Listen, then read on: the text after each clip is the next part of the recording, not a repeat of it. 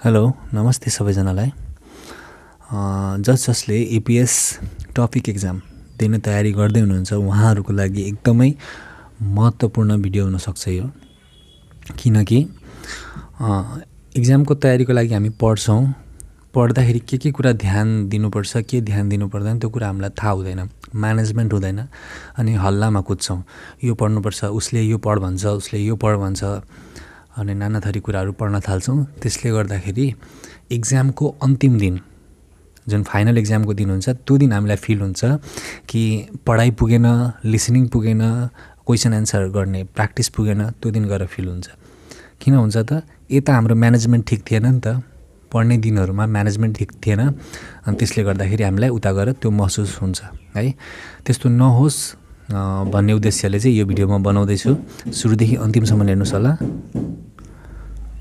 सुरुमा हामी के बुझ्ने भन्दा इपिएस इक्जाम भनेको के हो है? इपिएस टपिक इक्जाम भनेको के हो?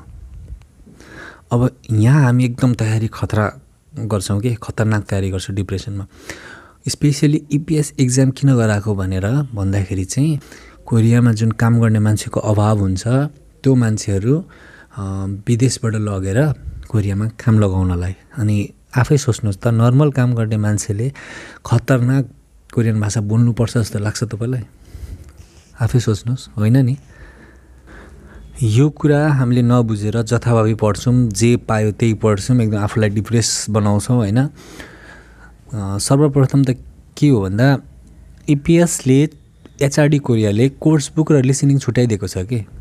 यो पढ्नुहोस् यसको मोडलमा लिसनिङहरू सुन्नुहोस् यसको मोडलमा क्वेसनहरू बनाउनुहोस् भनेर मिनिङ बुक र कोर्स बुक छुट्याइदिएको छ। हामीले त्यो छोडेर बाहिरीतिर जान्छ कि? त्यहाँ काम गर्न गएको हामी त्यहाँ कामभन्दा पनि लेबर स्तरको काम गर्न गएको है? त्यसको लागि चाहिँ एकदम खतरनाक भास्ट लेभलको कोरियन भाषा चाहिँदैन। सो एचआरडी कोरियाको मार्फतबाट हामी कोरिया जाँदाखेरि नर्मल भाषा सिकेर जाँदा हुन्छ है? त्यसको लागि हामीले एचआरडी कोरियाले छुट्याइदिएको कोर्स बुक पढे पुग्छ। अहिले पनि जुन इक्जाम हुँदैछ त्यो इक्जाममा त्यही क्वेसनहरू आइरहेछ। कोर्स बुककै कुराहरूलाई आधार मानेर क्वेसन बनाइएको छ। त्यो कुरा हामी पढ्न छोडेर बाहिर पढ्छौँ त्यो नगरौँ। ल अब हामी यो टपिकमा नम्बर एकले के भन्छ? साधारण कुराहरूलाई ध्यान दिएर पढ्ने पढे हुन्छ।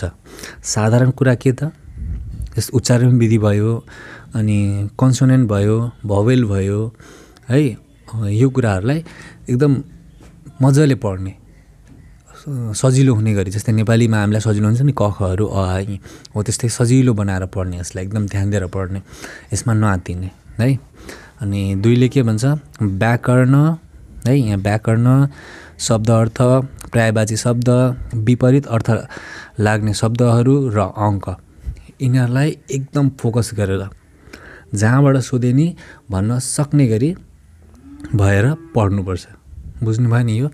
कोर्स बुक पढ्दै जाँदाखेरि तपाईँलाई थाहा हुँदै जान्छ। ल अब थर्डमा जाउँ। थर्ड कोर्स बुक लिसनिङहरू एकदमै ध्यान दिएर सुन्ने। है कोर्स बुकको लिसनिङ कसरी बनाएको हुन्छ भन्दा कोर्स बुकमा जुन च्याप्टरहरू हामीलाई पढाइन्छ नि हो त्यही च्याप्टरको मिनिङहरू लिसनिङमा हुन्छ। अनि कोर्स बुकमा आएको जुन मिनिङहरू हुन्छ त्यही लिसनिङमा राखेको हुन्छ। हो त्यो लिसनिङ हामीले बुझ्न थालेपछि त्यो कोर्स बुक पढेर र सुनेर हामीले बुझ्न थालेपछि बाहिरी कुराहरू अरू बाहिरी कोरियनहरूले बोल्यो भने त्यो बुझ्न सजिलो हुन्छ। अनि क्वेसनमा लिसनिङ जुन बज्छ त्यो कुरा पनि सुन्न सजिलो हुन्छ। सो कोर्स बुकमा जुन हामीले लिसनिङ दिएको छ त्यो लिसनिङलाई एकदम धेरैचोटि सुन्ने। अरू बाहिरी सुन्नुभन्दा पहिला त्यसलाई चाहिँ हामी एकदम क्लियर गर्ने के भन्दैछ कुन मिनिङलाई यसरी भन्दैछ कुन अर्थ कुन ग्रामरलाई उच्चारण गरेर भन्दैछ त्यो कुरा हामीलाई एकदम एक्ज्याक्ट थाहा भइसकेपछि अनि मात्रै हामी बाहिरी लिसनिङहरू सुन्नुपर्छ। है? ल अब चारमा जाउँ।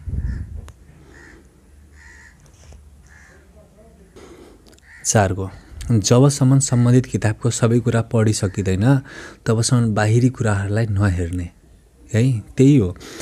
सम्बन्धित किताबको सबै कुरा भन्ने बित्तिकै जुन मिनिङ पढ्छ नि शब्द पढ्छ नि हामी त्यो शब्दको पनि व्याख्या हुन्छ क्या व्याख्यान हुन्छ। जस्तै थानिदा थानिदा भनेको जाने आउने हामी जसले पढ्यौँ उदाहरणको लागि है त्यो थानिदाको पनि अर्थ हुन्छ क्या त्यो थानिदा कस्तो अवस्थामा लाउने। हो त्यसरी सबै कुरा पढिसक्ने क्या कोर्स बुक चार पाँच महिनामा सबै क्लियर हुन्छ। अनि त्यसपछि त्यो आफूलाई लाग्छ कि अँ क्लियर भइसक्यो है त्यस्तो लाग्यो भने अनि हामी बाहिरको कुरा हेर्छौँ। तर जबसम्म त्यो कोर्स बुक क्लियर हुँदैन बाहिरको कुरा हेर्न मनाइ छ। मेरो विचारमा चाहिँ तपाईँलाई सजेस्ट गरेको मैले अब तपाईँ के गर्नुहुन्छ? तपाईँ माथि भर पर्छ। अब पाँचको हेरौँ। यहाँ के भन्दैछ? सम्बन्धित किताबले सिकाउन खोजेको उद्देश्य के हो? त्यो कुरा बुझ्न कोसिस गर्ने। अब हामीलाई इपिएसमा के सिकाइन्छ त? फर्मल कुरा सिकाइन्छ। त्यो बुझ्ने आदेश मान्न सिकाइन्छ। त्यो बुझ्ने संस्कार संस्कृति सिकाइन्छ त्यो बुझ्ने। त्यो पढ्दै जाँदाखेरि थाहा हुन्छ कि? त्यो जुन कोर्स बुकको उद्देश्य कोर्स बुकले सिकाउन खोजेको जुन उद्देश्य यो उद्देश्य छ त्यो बुझ्नु भएन भने कति एन्सरहरू मिल्दैन। एक्जाममा एन्सरहरू मिल्दैन एक्जाममा एन्सरहरू गलत हुन्छ। सो यसको कल्चर पनि यो कोर्स बुकको इपिएस टपिकको कोर्स बुक जुन हुन्छ त्यसको कल्चर हामीले बुझ्नुपर्छ। है। आदेश मान्न सिकाइएको छ हामीलाई। किन हामी वर्कर भएर जाँदैछ नि त त्यहाँ। त्यही भएर आदेश मान्न सिकाइएको छ। अनि त्यहाँको संस्कार संस्कृति सिकाइएको छ। भुइँमा कसरी बस्ने चप्पल खोलेर भित्र जानुपर्छ। ठुलोको अगाडि चाहिँ ठुलोले दिएको सामान चाहिँ दुई हातले थाप्नुपर्छ। यस्तो संस्कार सिक सिकाइएको छ। यो कुरा चाहिँ हामीले बुझ्नुपर्छ। अनि गएर एन्सर मिलाउन सजिलो हुन्छ। अब छमा जाउँ। छको चाहिँ अलिक महत्त्वपूर्ण के छ भन्दा लिसनिङ सुन्न किताब पढ्न किताब पढ्न शब्द अर्थ पढ्न समय छुट्याउने। लिसनिङ एक एकैचोटि सबै नगर्ने के? लिसनिङ पनि एउटै समयमा सुन्यो किताब पनि त्यति त्यसरी होइन। लिसनिङ अलग्गै सुन्ने किताब पढ्ने र शब्द अर्थ पढ्ने समय अलग अलग हुनु पऱ्यो अब कसरी भन्दाखेरि जस्तै पहिला हामीले किताब पढ्यौँ।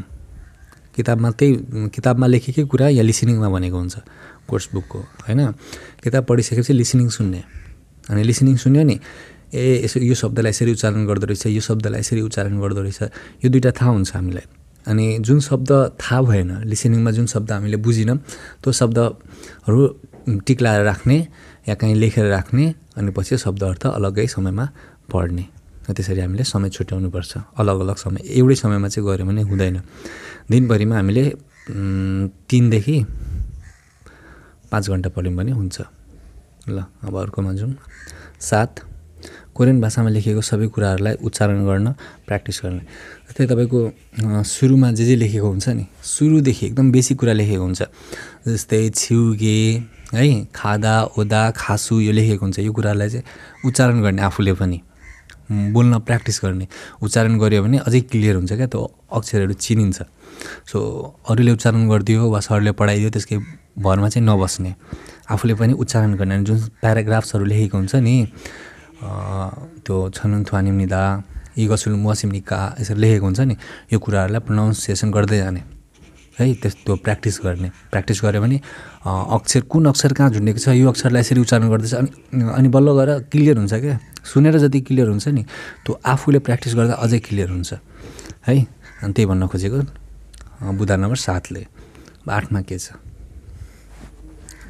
बेसिक क्वेसनहरू प्र्याक्टिस गर्न सुरु गर्ने। यो सबै भइसक्यो नि हामीले बोल्न थालिसक्यौँ बेसिक पढिसक्यौँ ग्रामरहरू पढिसक्यौँ लिसनिङ सुन्न थालिसक्यौँ अनि यो सबै क्लियर भइसकेपछि अब बेसिक क्वेसनहरू हामी प्र्याक्टिस गर्न सुरु गर्ने। सुरुमै नगर्ने नि फेरि जस्तै अब कोर्स बुक स्टार्ट गरेर छ अनि साथीहरूको कुरा सुन्यो अनि त्यतिखेर हामी फेरि क्वेसनहरू स्टार्ट गर्छौँ। त्यसले गर्दा आत्तिन्छ बिग्रिन्छ अनि होपलेस हुन्छ कि? त्यो नगर्ने। यहाँ हामी जब उच्चारण गर्न थाल्छौँ नि पढ्न थाल्छौँ आफैले पढ्न थालिस् थाल्छौँ नि जतिखेर। आफै पढ्न आउन थाल्छ हामीलाई हो त्यो अवस्थाबाट चाहिँ हामी क्वेसनहरू प्र्याक्टिस गर्न सक्छौँ। बेसिक क्वेसनहरू ह्याबी त नगर्ने सुरुमा एकदम बेसिक बेसिक क्वेसनहरू प्र्याक्टिस गर्ने। त्यो थाहा भइहाल्छ तपाईँ पढ्दै जानुभयो भने छुट्याउन सक्नुहुन्छ। अनि नौ नम्बरको नौ नम्बरको के भन्दैछ? प्रश्नहरू छिटोभन्दा छिटो हल गर्न कोसिस गर्ने। यो के भनेको भन्दा तपाईँको एक्जाममा एउटा क्वेसनलाई एक मिनट दिएको हुन्छ है? अनि कुनै कुनै अप्ठ्यारो प्याराग्राफ हुन्छ अप्ठ्यारो फिनखाने हुन्छ अप्ठ्यारो फान्देमाल हुन्छ। हो त्यसलाई टाइम लाग्छ कि? अनि जुन हामीले प्र्याक्टिस गर्छ नि क्वेसनहरू त्यसलाई जुन एक मिनटको टाइम दिएको हुन्छ एक मिनटको ठाउँमा चाहिँ हामी चालिस सेकेन्ड वा तिस सेकेन्डमा सक्न कोसिस गर्ने। हो त्यो भन्न खोजेको। किन एक्जाममा टाइम हामीलाई लिमिटेड हुन्छ अनि छिटो छिटो सक्यो भने उता रिभिजन गर्ने टाइम हुन्छ नि त। मजाले रिभाइज गरेर कुनै एन्सर बिग्रेको छ भने त्यसलाई टिक लाउनलाई सजिलो हुन्छ। अनि त्यही भएर यो भनेको प्रश्नहरू छिटोभन्दा छिटो हल गर्न कोसिस गर्ने। यो चाहिँ तपाईँको लिसनिङमा एप्लाई हुँदैन रिडिङमा मात्रै एप्लाई हुन्छ। यो लिसनिङको लागि होइन रिडिङको लागि मात्रै हो। रिडिङमा मात्रै यो एप्लाई गर्न सकिन्छ। रिडिङ छिटो सक्यो भने अनि उता लिसनिङ हुन्छ लिसनि लिसनिङ पनि सक्यो भने टाइम उब्रेपछि हामी रि रिभाइज गर्न सक्छौँ कि? हेर्न सक्छौँ के के बिग्रियो कुन एन्सर ठिक भयो कुन गलत भयो है? यो कुरा भइहाल्यो लास्टको दसको। दसको चाहिँ मजाले सुन्नुहोस्। जथाभावी सामाजिक सञ्जालमा राखिएको प्रश्न उत्तरहरू नपढ्ने। जे पाइ त्यही राखिदिएको हुन्छ हौ त्यहाँ डिमोटिभेट गर्नलाई के? अनि जसले पनि बनायो हालिदियो। मलाई धेरैले भन्नुहुन्छ क्वेसन बनाउनु क्वेसन बनाउनु। दुनियाँले बनाएर हालिरहेछ होइन? त्यो क्वेसन बनाएर के गर्नु म? बनाउनु ठुलो कुरो होइन अरूको हेऱ्यो कपी पेस्ट गर्यो हालिदियो त्यसरी गर्दा हुन्छ नि त। सबैले त्यही गर्नु भएको छ त्यहाँ। अनि एक दुईजना युट्युबरहरू हुनुहुन्छ उहाँहरूले राम्रो पढाउनुहुन्छ। अनि प्रायः कपी पेस्ट गरेर हाल्नुहुन्छ। अनि त्यो पढ्नुको साटो सामाजिक सञ्जालमा समय व्यर्थ गर्नुको साटो त्यो ह्यान्सलहरू अनि मोडल क्वेसनहरू घरमै पढ्नु त्यसले राम्रो हुन्छ। युट्युबमा तपाईँ वास्तवमा किन आउने भन्दा रिभ रिभाइज गर्नलाई के? एकछिन टाइम पास गर्न हातमा मोबाइल लियो नि। अनि त्यसपछि हेऱ्यो क्या। रिभाइज हुन्छ कसैले भन्थ्यो उच्चारण विधि भन्थ्यो ए यसो रहेछ नि। रिभिजनको लागि तपाईँ युट्युबमा हुने हो। ओभरअल पढ्नलाई चाहिँ इन्स्टिट्युटमा पढ्ने र घरमै पढ्ने। यो क्वेसनहरू भनेको नेपालीले बनाएको क्वेसन अलग्गै हुन्छ। र एचआरडी कोरियाले बनाएको क्वेसन अर्कै हुन्छ यति चाहिँ बुझ्नुहोस्। सो सामाजिक सञ्जालमा आएर टाइम व्यर्थ नगर्नु अनि साँच्चीकै पास गर्नु छ भने कहिलेकाहीँ आएर राम्रो जुन युट्युबरहरू हुनुहुन्छ उहाँहरूको भिडियोहरू हेरेर सिक्नुहोस्। उहाँहरूले सिकाउनु पनि हुन्छ राम्रो सिकाउनु अनि कतिले चाहिँ समय बर्बाद मात्रै गर्छ। देखाएको छ मैले। अनि कोर्स बुक पढाउन भन्नुहुन्छ कतिले क्वेसन बनाउन भन्नुहुन्छ अनि त्यसपछि गर्दिनँ। त्यो कोर्स बुक आफैले पनि पढ्न सकिन्छ कि त्यो? कुरा बुझेर अनि इन्स्टिट्युटमा पनि सरले पढाउनुहुन्छ। अनि युट्युबमा चाहिँ रिभाइजको लागि मात्रै आउने। भोलिको दिनमा जति मैले पढाएँ भने पनि कोर्स बुक पढाएँ भने पनि त्यो बाहिर विदेशमा बस्नुभएको दिदी दाजुहरू जो जो हुनुहुन्छ उहाँहरूको लागि चाहिँ राम्रो फर्मेटमा एउटा डिजाइन गर्छु। किनकि अब अनलाइन पढेपछि त क्लस क्वेसन गर्ने टाइम हुँदैन नि त अनि मिल्दैन पनि नि त। त्यो क्रस क्वेसन नगर्ने गरी बुझाएर एउटा फर्मेट रेडी गरेर अनि पढाउने कोसिस गर्छु। तर तपाईँहरू चाहिँ स्पेसियली त्यसरी सामाजिक सञ्जालमा आएर टाइम वेस्ट नगर्नु मोडल क्वेसनहरू धेरै छ त्यो किनेर पढ्नुहोस् त्यो मिनिङहरू लेख्नुहोस् है। ल आजको लागि यति। अर्को भिडियो छिटो लिएर आउँछु।